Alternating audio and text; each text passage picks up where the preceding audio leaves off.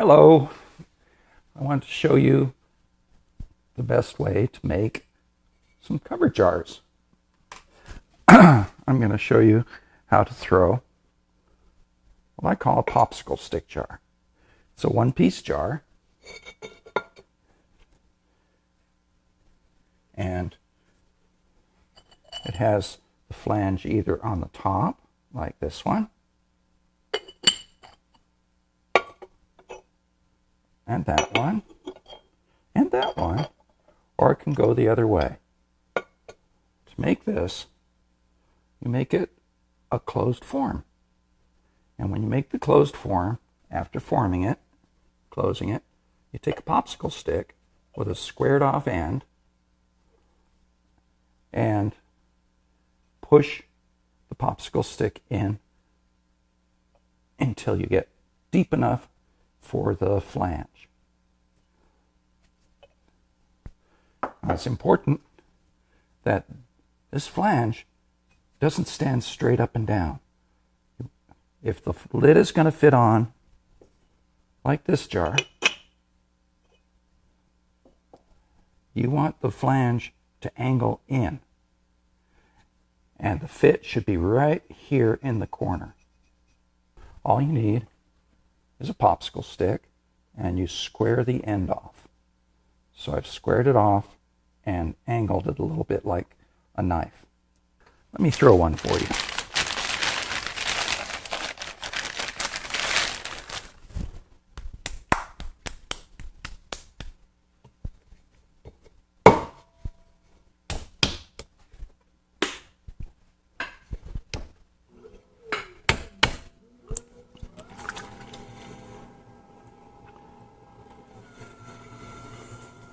So if you can throw a good cylinder, if you can throw a bottle, you can throw one of these.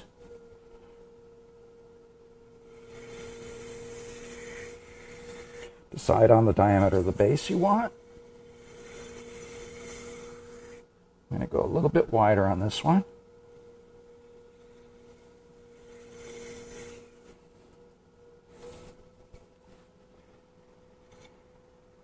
Decide if you want to trim a foot or not.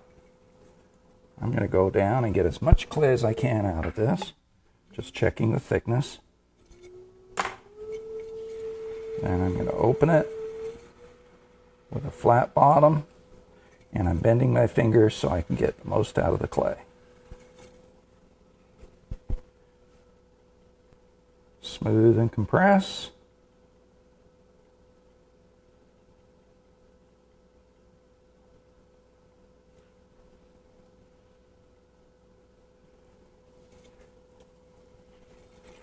Lift. Now the first pull, same as always. But make sure it's coming in. Keep that top edge true. Undercut a little bit. Add some water. Push in, push out, lift. And about here, relax your pressure. You want to keep the top third a little bit thicker. That way you can pull it in. You'll have enough clay there. I'm going to do one more.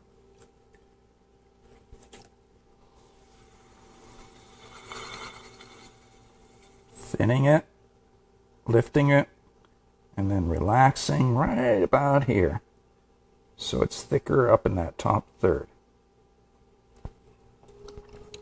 Now you're going to be closing this off, so you want to make sure you get all that water out of the bottom of the pot.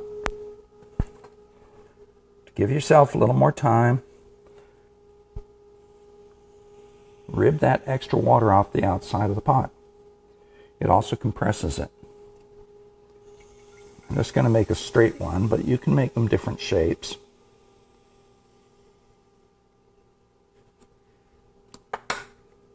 And now to close it,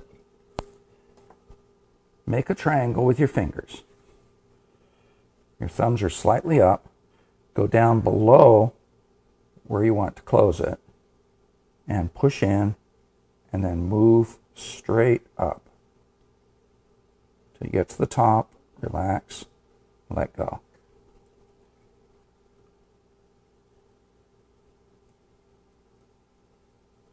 Don't do it too quickly, it may fold over. And as you go, the walls are going to get thicker, so you can come back and rethrow them a little bit. Also, this top edge is going to start go going up and down. If it bothers you, you can trim that off.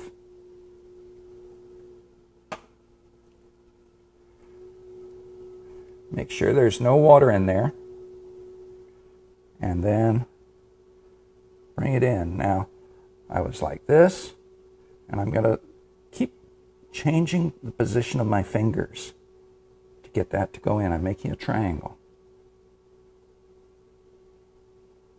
I'm just using my fingertips.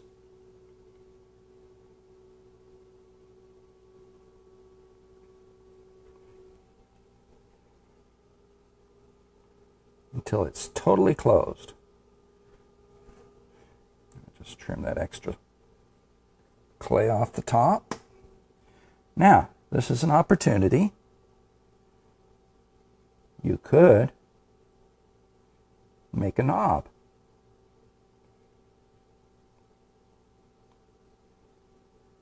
with that clay that you pulled in. Now remember, this is full of air, so it's going to support itself.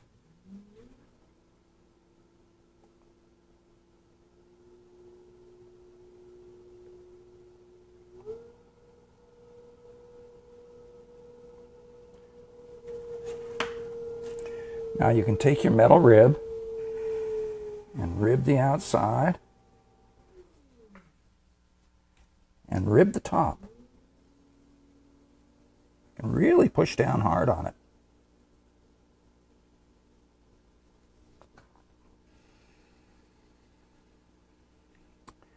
Now where you're going to be putting the popsicle stick in, you want it fairly straight up and down, and you want to give enough space for the flange. So if the flange is going up into the form, you'll have to leave as tall a, tall a space there as the flange will be.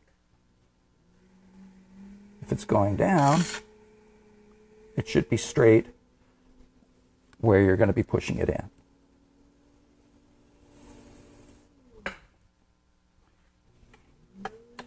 I'm going to make this, it's a small jar, so I'm going to make this knob a little bit smaller. There.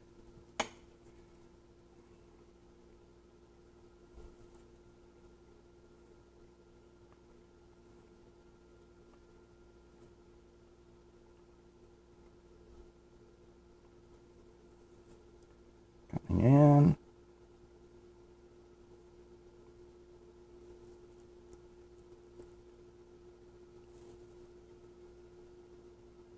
And refining it.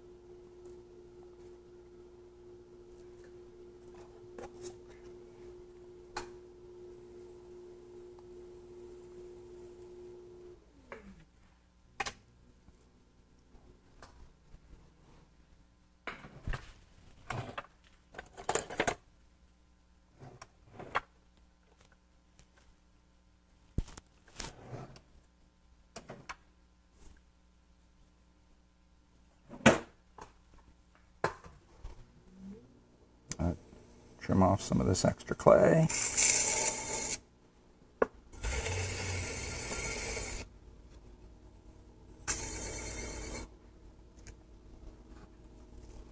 Now, to make the uh, flange, you need your popsicle stick and your sponge. So I'm going to push the stick in at a bit of an angle on the side, tilt it, depending if it's going to go into the jar, I'm going to tilt it this way. If the lid is going to fit over the top, I'm going to tilt it this way. This time I'm going to tilt it this way so the jar will sit down. The lid will sit into the jar. Now I'm going to put the sponge behind where I put the stick on. And the reason for that is to get rid of those burrs as it's going around and smooth it as it comes around. So I'm going to go down a little ways, place the stick on there, Let it go around and around and around till it goes in as th- thick as the wall. Now I'm tilting it just a little bit. Now, when this hits leather hard, I will cut it right at that seam and then trim it so it fits in. Add a couple little defining lines. I'm going to trim this just a little bit more.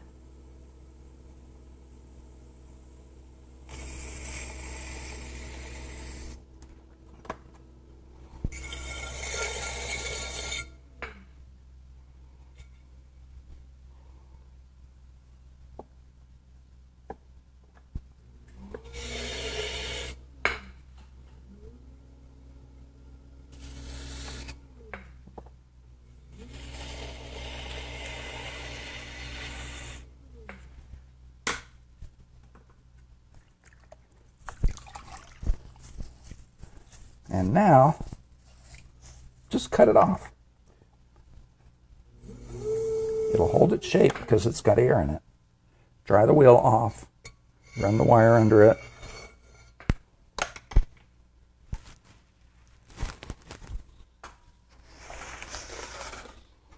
And then you can pick it up.